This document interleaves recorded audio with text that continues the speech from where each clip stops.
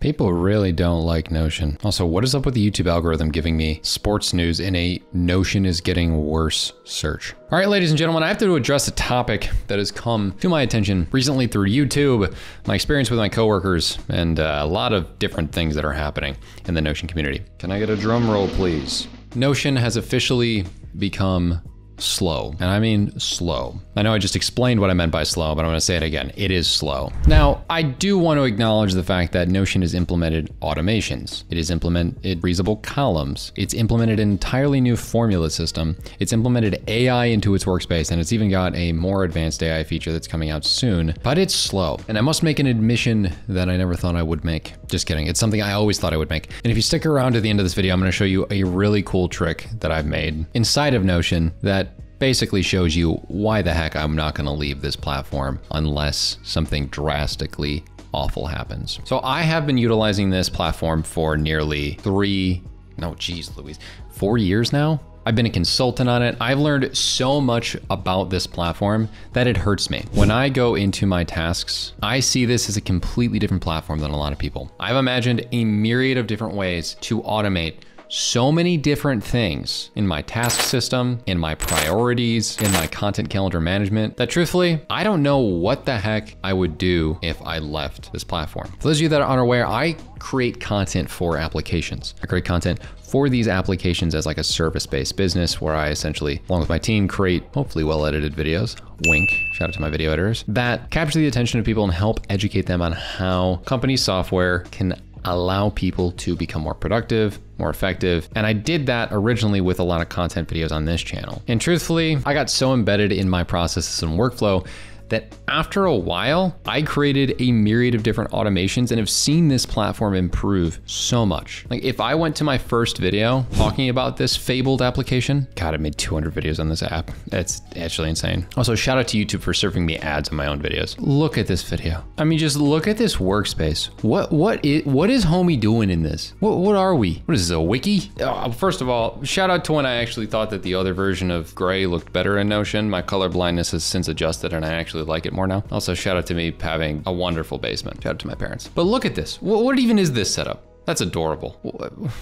It just looks night and day from the current platform. I don't even I don't even recognize it. What is it? Like if we had to compare the two, now Notion is on steroids. We have built-in automations, we have recurring tasks. I forgot to mention that by the way, we have a real recurring task now. We have a real API connection. We have so many different things that truthfully, I'm just gonna write it out. I love this platform. I don't know what else I would do if I had to leave this platform and it would die. Would I use ClickUp next? Uh, I don't know, maybe probably Coda or something, It's just like a little builder action. But whatever has the best API connection, I, I would probably use because I, I realize at this point, I kind of just get how a lot of the logic works within these platforms, and that's why I can review a new app in like 38 seconds. I can be like, oh, this is how this one works. And if you're somebody who loves an app this much and it's having a bad month or a bad quarter, stick it out because you can get so good at applications if you stick it out that quite literally you can do something like this. All right, so I'm gonna go into make.com which shout out to make.com for being absolutely awesome. And what if I told you that I had an automation built? Yeah, I know, I know this is overwhelming. We get it, we get it. I'm a crazy person. That was so good that literally,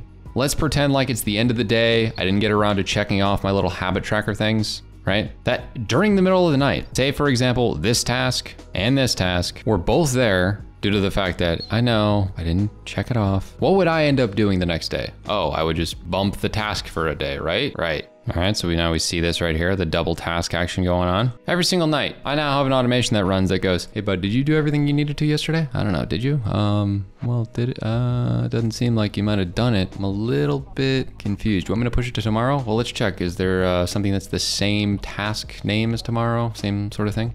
Oh, there is? Okay, I'm just gonna bump it a day later, but if not, I'll just, I'll just put it on tomorrow. So it's looking for if there's tasks that are today, multiple of them, right? So it's gonna find that this record content services videos there twice, but it's not gonna be there tomorrow. It's gonna go, oh, hey, I find the same task tomorrow. Well, it doesn't, I don't, I don't think it's gonna be a thing. So um, let's just move it in three, two, one. What?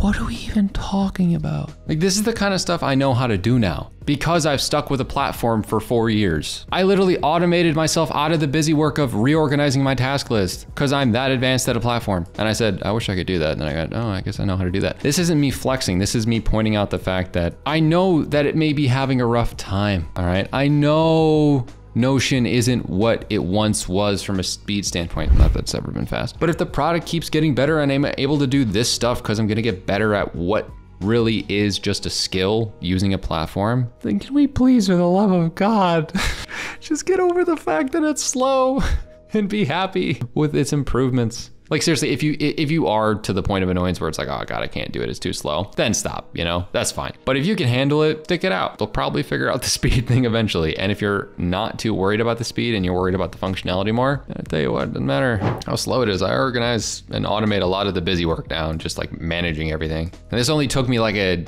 hour to set up, and considering it takes me like 10 minutes every day. I'll make that, I know that comment's coming. Oh my God, this dude spent all this time on this automation. It took me like an hour and a half, two hours. It takes me like 10 minutes a day to reorganize my task list. So I don't have to do that anymore. I'm stoked. I'm absolutely jacked. I don't know what I'm saying. But I do know that you have been amazingly supportive of this channel.